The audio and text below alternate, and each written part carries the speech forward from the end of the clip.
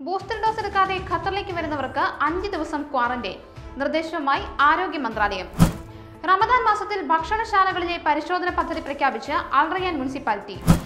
ഖത്തറിൽ അന്താരാഷ്ട്ര കാർഷിക പരിസ്ഥിതി പ്രദർശനം നാളെ ആരംഭിക്കും.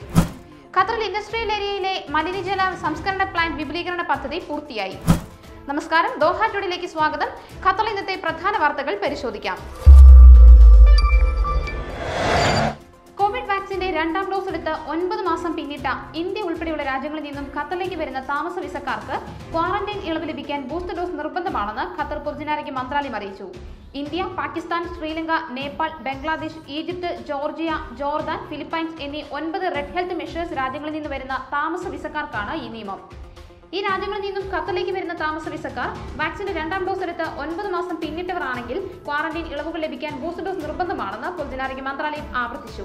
ഇവർ ബൂസ്റ്റർ ഡോസ് എടുക്കാത്ത പക്ഷം അഞ്ച് ദിവസം ഹോട്ടൽ ക്വാറന്റൈന് വിധേയമാക്കണം. അഞ്ചാം ദിവസം ആന്റിജൻ ടെസ്റ്റ് ചെയ്താൽ മതി. കൂടാതെ യാത്രയ്ക്ക് നാൽപ്പത്തിയെട്ട് മണിക്കൂറിനുള്ളിലെ R T P C R negative ഫലവും നിർബന്ധമാണ്. ഈ രാജ്യങ്ങളിൽ നിന്ന് ഒൻപത് മാസം കഴിഞ്ഞ് ബൂസ്റ്റർ ഡോസ് എടുക്കാത്ത വിസിറ്റ് വിസക്കാർക്ക് രാജ്യത്ത് പ്രവേശനം അനുവദിക്കില്ല.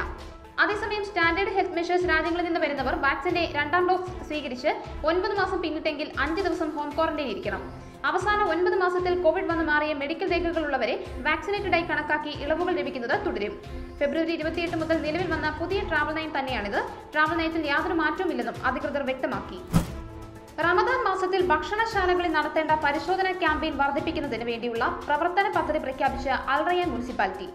മുനിസിപ്പാലിറ്റിയുടെ ആരോഗ്യ നിരീക്ഷണ യൂണിറ്റുകളിലെ ഇൻസ്പെക്ടർമാർ വാണിജ്യ ഔട്ട്ലെറ്റുകളിലും അൽസൈലിയ സെൻട്രൽ മാർക്കറ്റിലും രാവിലെയും വൈകുന്നേരവും രണ്ട് ഷിഫ്റ്റുകളിലായി പരിശോധന നടത്തുമെന്ന് മുനിസിപ്പാലിറ്റി മന്ത്രാലയം പുറത്തിറക്കിയ പ്രസ്താവനയിൽ അറിയിച്ചു. ഇറക്കുമതി ചെയ്തതും പ്രാദേശികവുമായ ഉൽപ്പന്നങ്ങൾ വിൽക്കുന്നതിനുള്ള യാർഡുകളിലും ലേലവുമായി ബന്ധപ്പെട്ട പ്രവർത്തനങ്ങൾ നിരീക്ഷിക്കാനും അനധികൃത കച്ചവടക്കാരെ പിടികൂടാനും മുനിസിപ്പൽ ഇൻസ്പെക്ടർമാരെ അയക്കുമെന്നും അധികൃതർ അറിയിച്ചു. രാവിലെ പത്ത് മുതൽ ഉച്ചവരെയും രാത്രി എട്ട് മുതൽ പുലർച്ചെ ഒരു മണി വരെയും രണ്ട് ഷിഫ്റ്റുകളിലായി തിരിച്ചായിരിക്കും റമദാൻ മാസത്തിലെ പരിശോധന.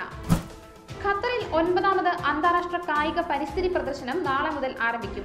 ഇവൻദോഹ എക്സിബിഷൻ ആൻഡ് കൺവെൻഷൻ സെന്ററിൽ വെച്ചാണ് പ്രദർശനം നടക്കുക. പ്രാദേശിക കാർഷിക ഉൽപ്പന്നങ്ങൾക്കൊപ്പം തേൻ ഈത്തപ്പഴം പച്ചക്കറികൾ എന്നിവ പ്രദർശിപ്പിക്കുന്നതിന് മൂന്ന് വിപണികളാണ് തുറക്കുക. പ്രദർശനം അഞ്ച് ദിവസമാണ് നടക്കുക.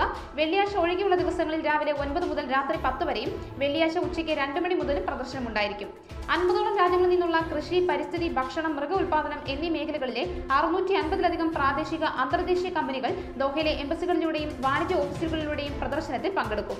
പ്രാദേശിക ഫാമുകളിൽ നിന്നുള്ള വലിയ പങ്കാളിത്തവും പ്രദർശനത്തിലുണ്ടാകുമെന്ന് എക്സിബിഷൻ സംഘാടക സമിതി deputy head Yousef Khalid Al Khulaifi പറഞ്ഞു.